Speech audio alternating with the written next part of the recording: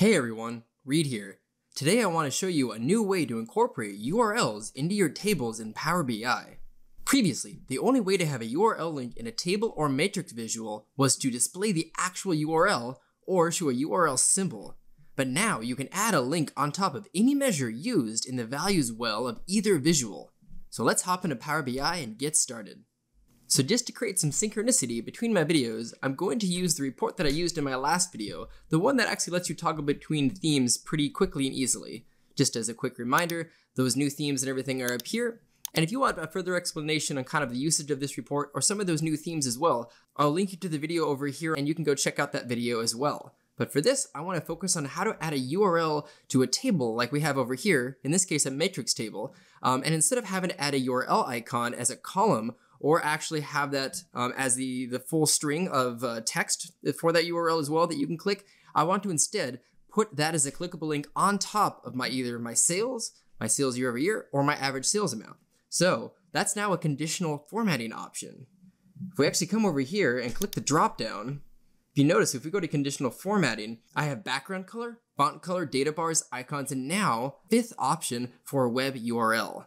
So if I click that, it brings up the format by field value. So again, field value is something related to DAX where you can actually create a measure that can return um, colors to determine what color you want it to, to be. You can also have that return some dynamic URLs. In this case, I'll show you what my DAX is in a moment, but it's just a simple URL text string that will then allow any of these cells to be clicked. So like based on field, DAX measure, URL, and before I click OK, if you're a bit more interested about the field value type formatting, I do have a video that talks about at least how to apply colors as field value formatting, and I'll link you to that over here on the right.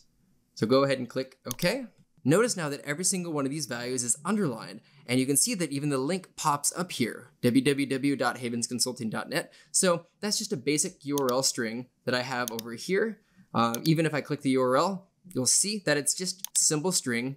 Now there are ways to do more advanced type of DAX formatting in here where you can actually have some dynamic strings that's concatenation of say a SKU number and that takes you to a product page. But I just want a simple URL measure just so you can actually see that if I was to say click this, that will actually then open up a web page and then go with your browser to that site page of whatever that URL is. And I can do that on any measure now. So I can essentially add that as a layer of conditional formatting. And this is really useful for the fact that I now don't have to have a separate column with the URL. I can have as many measures as I want and then custom URLs on top of them. Um, notice that it does not work on the grand total uh, or the subtotals. So that's just like the same way that conditional formatting works with either the background colors or the KPIs or anything else. You will only get the URL link to show up on the lowest level visible. So if I actually roll this up, now you can see that it's working at the subtotal level. And then if I roll it up again, you can see that it's working at the level for country. So it does change depending on what level is visible in the matrix table, just like all of the other um, conditional formatting uh, rules and logic that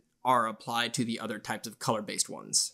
But that's about it. I just wanted to show you this really cool new way to apply URL formatting to values in those visuals well whenever you have something over here. And that can be used once, twice, or as many times as you want to. So I hope you found this video useful. If you liked the video, please click or smash that like button below. If you have anything to say about the video or have a comment for a future video, add that to the comment section. And if this is your first time into my channel or you want to see more of these awesome videos, please click that subscribe and notification button. And otherwise, I will see you in my next video.